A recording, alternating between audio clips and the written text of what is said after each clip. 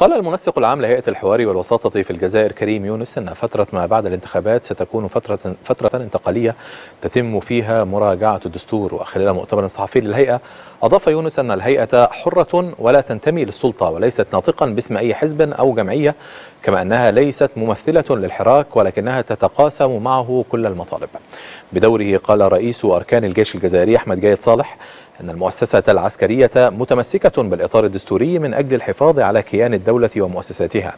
وأضاف رئيس أركان الجيش الجزائري أن الحوار الجاد كفيل بتقديم الحلول المناسبة وخلق الظروف لتنظيم انتخابات رئاسية قريبا. لمزيد من التعليق حول ما يحدث في الجزائر والأزمة السياسية الموجودة هناك ولجنة الحوار وكل ما يتعلق بالشأن الجزائري ينضم إلينا هاتفيا سعادة السفير جمال بيومي مساعد وزير الخارجية الأسبق.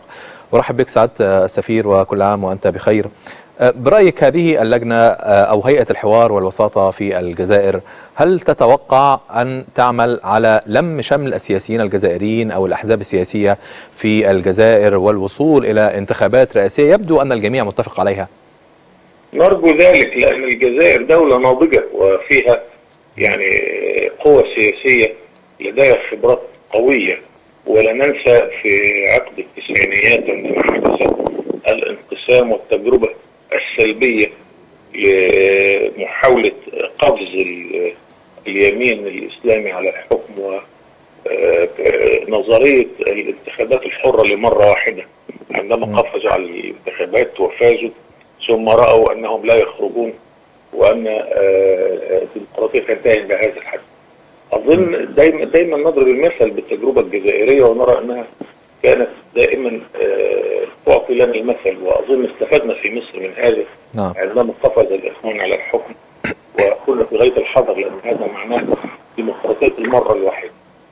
الجزائر بلد عريق يعني يحظى بكل محبة جيراني والدول العربية. نأمل انها دوله كبيرة أيضا في الاقتصادات العربية ولديها كل الأسباب لأن توحد القوى ثم لدينا في النهاية حائط الصد الأكبر وهو الجيش الجزائري جيش وطني وهو أرجو أن يكون هو الحامي للوطنية الجزائرية وللدستور بحيث يصل الجميع إلى توافق وطني. لا يوجد كاسب 100% وخاسر 100% وإنما يجب أن يتقاسم الكل المشاركة في حكم بلده. هذا هو السبيل الوحيد وأظن أن الجزائر ليست بعيدة عن هذا إن شاء الله. ويمكن أيضا سيادة السفير سيادة السفير التعويل على السياسيين الجزائريين. الجزائر من الدول التي ربما يعني يكون فيها الكثير من الدبلوماسيين والسياسيين المخضرمين. لا أريد أن أذكر أسماء بعينها لكن هناك الكثير من الأحزاب أو من الشخصيات السياسية التي يمكن أن تكون همزة الوصل بين الأحزاب السياسية بين الحراك في الشارع وبين هذه الأحزاب وبين السلطة الحالية في الجزائر. طيب سعد سفير إذا ما كان الجميع متفقا على إجراء أو أهمية إجراء انتخابات رئاسية أولا في الجزائر إذا لماذا الاختلاف؟ لماذا الاختلاف بين الأحزاب السياسية؟ لماذا هناك بعض الأحزاب أو بعض الأطراف أو بعض الأطراف في الشارع الجزائري يخشى من الجلوس على طاولة واحدة أو ربما يبتعد عن الأحزاب السياسية في هذه اللجنة في هذه اللجنة التي شكلها الرئيس الجزائري للحوار وهي اسمها لجنة الحوار. فمن الطبيعي أن يجلس المتخاصمون السياسيون لي يعني يتحاوروا فيما بينهم فيما كل يطرح رؤيته ويطرح شروطه في في هذه الجلسة أو في هذا الحوار. وليس قبل المشاركة ولا أن تكون هذه المشاركة مشاركة مسبقة الشروط. أليس كذلك؟ هو كذلك بالفعل لكن نحن بين ضفتين واحدة الموجة الغالبة وهو التعقل وأنا من المعجبين بالوطنية الجزائرية وكل من أعرفه من الدبلوماسيين الجزائريين هم مثال للتعقل السياسي. وتاريخ الجزائر وراءها يا ليتنا ندرسه لأن هذا بلد دافع عن العروبة والإسلام في منطقة غرب البحر المتوسط. والفئة الأخرى التي تلعب لعبة الصفر أو ال zero sum game يريد أن يحصل على كل شيء والبعض الآخر لا يحصل على شيء. هذا هو الجزء الذي دائما يختلف ويقول لا لكل عرض جديد.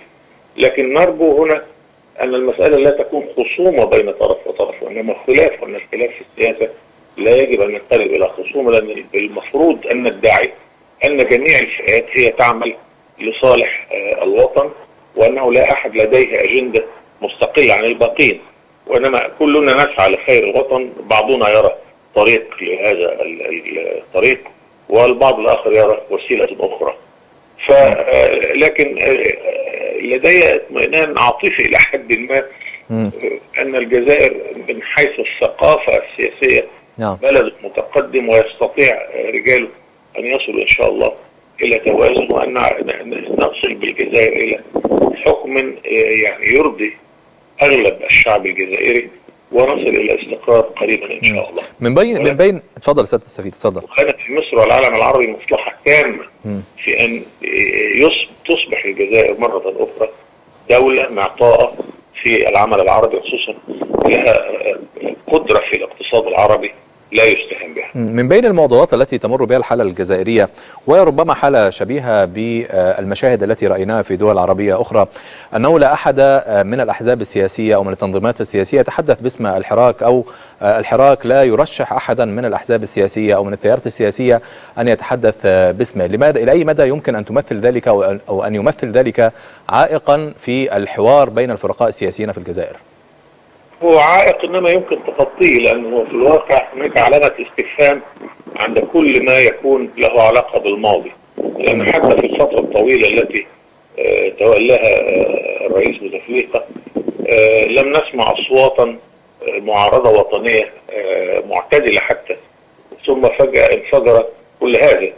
وبالتالي رجل الشارع في الجزائر لا يثق في حتى المعارضة التي كانت صامته عندما كان ينبغي أن تتكلم م. ثم صارت تتكلم عندما ينبغي أن تتعاون وأن تصل إلى هدف. نعم. سعد سفير جمال بيومي مساعد وزير الخارجية الأسبق. شكرا جزيلا لك على هذه التفاصيل وعلى هذه المداخلة.